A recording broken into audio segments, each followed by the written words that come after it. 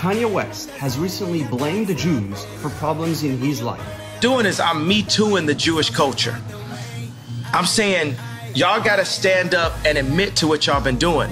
And y'all just got away with it for so long. This is exactly how the anti-Semitic rhetoric works. You have problems in your life, blame the Jews. Your phone doesn't work, blame the Jews. Your computer doesn't work, blame the Jews. Well, Kanye, how about you get up and start cleaning the mess that you've created and leave us alone? How about that? Thanks.